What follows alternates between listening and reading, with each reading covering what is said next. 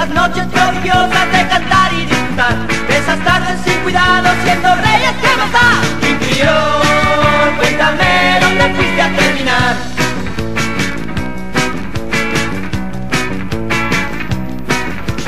Éramos gigantes lejos de bien y de mal.